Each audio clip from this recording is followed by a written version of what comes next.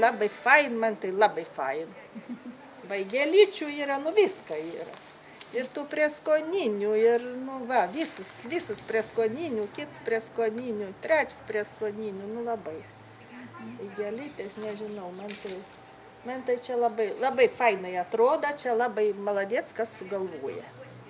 Ir labai gražu, ir čia kaip mokomoji tokia, ir, ir daugybė, daugybė šeimų neturi nei sodą, nei nieką.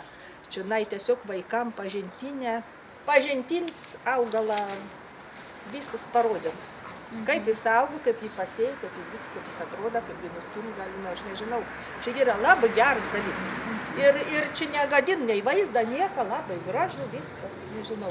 Taip, vešliai auga ir va su, tiesiog iš meilės vis augina. Kaip čia buvo ap- apžėlę, kaip čia nupjaudavo ir nieks negrėbdavo. Ir kaip dabar koks vaistai čia yra. Visai skiriasi ugnis ir vanduo. Ir, ir ateini ir tą daržovę biškutį. Tiek tą krapą nusiskini, tiek tą cibulį nusiskini, tiek niekas nepyksta. Ir, ir, ir vaikai čia nelaksto, ir nieks nenukoja. Ir pevelė čia, nu, nu, nu, viskas čia puiku. Labai, lab, net kažkaip pagyvi namą, to viso, viso.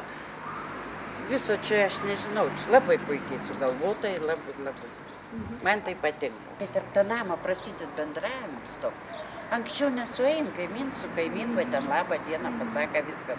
O dabar tai vien šitai sustoja, tai pasišnekėję, tai, tai aptarė kažką, tai... tai anksčiau kaimyno Nu, aš nematydavo, nežinodavau, dabar jau žinau, kur Va. kaimynas, koks tai yra, kaimynė, kokia Nu va. yra, jau, jau, Va jau. bendravimo Net priemonė ir- atsirado. aplinkinių namų gyventojus pradeda šitas daržas suburti, ar ne, taip, net taip, savotiškai. mes ką pradėjom koštis, nu jūsų.